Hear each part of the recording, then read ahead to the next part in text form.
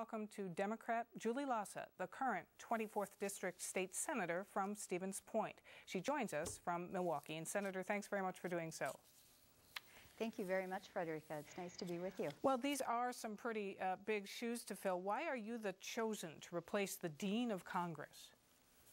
Now, your opponent, as you well know, is literally a lumberjack, a district attorney, and an MTV star. Now, he, he's part of the anti stimulus, anti bailout, anti healthcare reform, anti tax movement. How do you counter not just the persona, but the platform there? Well, I think there is lot uh, to counter there. As a matter of fact, um, in uh, Wisconsin Rapids, there's a business. It's uh, Energy Composites. They're looking at building a factory in order to build uh, windmill blades for the clean energy uh, sector of our economy.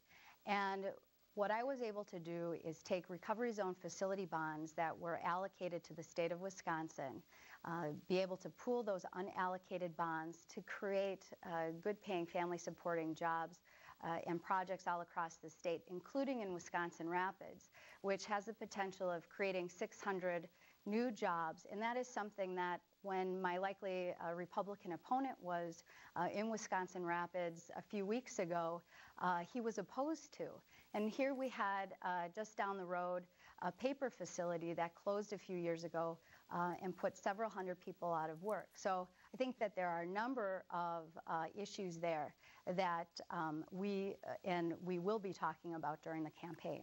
Now to Wausau, where we meet Republican candidate and Ashland County District Attorney Sean Duffy. And Mr. Duffy, thanks very much for being here. Thank you for having me on. Let's talk about uh, stimulus uh, spending. Well, obviously, you're opposed, but what would have happened to Wisconsin without it? Because, as I understand it, it, it did maintain uh, the jobs of more than or thousands of teachers and, and other uh, firefighters and police officers and things like that. Would you have been prepared to let those people lose their jobs? I, I, think we have to look at the bigger picture here. What, what happens is um, we've put a band aid on a, on a larger problem. We need a tax base uh, in our communities that can support our, our police officers and our firefighters and our school teachers. And uh, we see right now there's another bailout proposed um, for our uh, state systems and our local, our state governments and our local governments because we didn't focus on stimulating the actual economy. And when you have, uh, when you have growth in economies, you create jobs, and when you create jobs, you have an economic base that supports our schools and our law enforcement. Let me ask you this. Julie Lassa says that it's her belief that you were opposed to this project in Wisconsin Rapids that would have used uh, $45 million in, in, stimulus funds to um, start a company that would build wind turbine blades and potentially employ 600 people. Now, you would be opposed to that kind of use of stimulus funding? We, I, I, think what she's talking about is, you know, she's authored this Core Jobs Act, um, and you have to take a, a look at this in perspective. Uh, she voted for two billion dollars in tax increases and fee increases in the state of Wisconsin, and then she gave back fifteen million dollars uh, in, in, in targeted tax. Um, uh, breaks for businesses. And I think that's a positive thing. But if you break it down, it's like each uh, individual is taxed $2,000 uh, in ta- or they're, they're, they get tax increases of $2,000. Then they get $15 back in stimulus money. It just it doesn't work and it doesn't make sense. But a new Gallup poll just out uh, suggests that 60% of Americans favor additional stimulus spending compared to 38% that oppose it. So how do you explain that?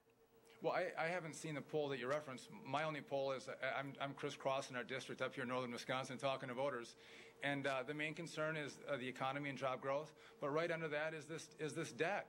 And I, I think when we, when we look at uh, the $50 billion of stimulus spending uh, that's now being proposed by Mr. Obey, um, and it's going to be targeted towards teachers, I think that's a positive thing in the sense that we want to keep our teachers employed because uh, our kids are our future. And I am a father of six. I believe in that.